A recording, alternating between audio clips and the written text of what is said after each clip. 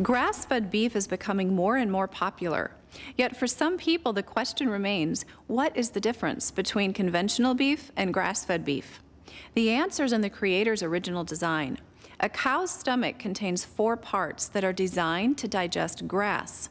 This produces meat that contains nutrients, omega 3s, fats, trace minerals, and conjugated linoleic acid, all of which are beneficial for humans. Conventional beef, on the other hand, often lacks these important nutrients and instead contains leftover hormones and toxins from improper diet that affects the cow's entire body chemistry in a negative way.